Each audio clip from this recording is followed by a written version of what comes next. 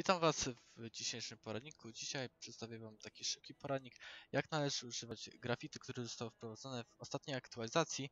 W końcu będziemy mogli się wyrazić poprzez graffiti w trakcie meczu, jakie mamy odczucia w danej chwili. tak, ja zawsze jestem worry, zmartwiony, bo jak gram z, z randomami, to nie wiem, czy y, dadzą radę, czy nie. No, ale chodzi o to, że mamy tutaj graffiti, które dostajemy na samym początku. Ja oczywiście dostałem graffiti pod nazwą Worry Tiger Orange, czyli tygrysowy pomarańcz. Jak należy takiego graffiti użyć? Jak widzicie na informacji zamieszczonej dotyczącej tej, tego graffiti, mamy możliwych użyć 50, czyli dwa razy już skorzystałem, ale tu mam następne 50 E, i to oczywiście dostałem podczas e, grania meczy różnego rodzaju pod koniec e, meczu dostajemy też w końcu takie graffiti możemy wdropić, tak?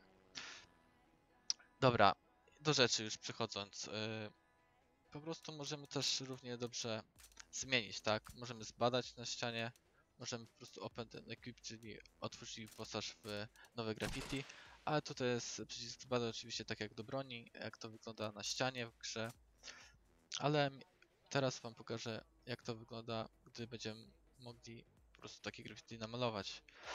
A czemu nie mogę wejść? Coś się zrąbało. Czekajcie chwilkę. MP Restart 1. Oj, dobrze pisałem, nie?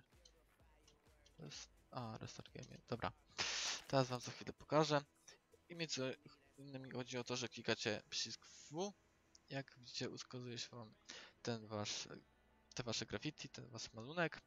Jak należy takie coś zrobić? Jak widzicie tutaj jest ograniczony, ograniczona strefa e, po prostu malowania tego graffiti, ale chodzi o to, żeby, o jak widzicie, too far from a surface, czyli za daleko e, do podłoża, żeby po prostu takie graffiti namalować. Musicie podejść do ściany bądź do podłoża i po prostu kliknąć lewym przyciskiem myszy i ten oto sposób ukazuje się wam graffiti, wasz malunek.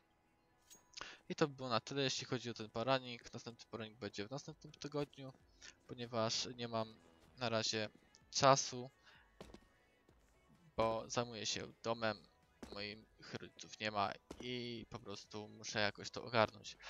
Ale na razie to tyle z mojej strony. Lajkujcie, komentujcie, subskrybujcie. Oczywiście proszę Was bardzo, żebyście pod komentarzem, pod filmami pisali na temat następnych poradników, które byście chcieli zobaczyć, yy, co poruszyć w następnych poradnikach. Yy, I to tyle ode mnie. Ja się z wami żegnam na razie. Trzymajcie się.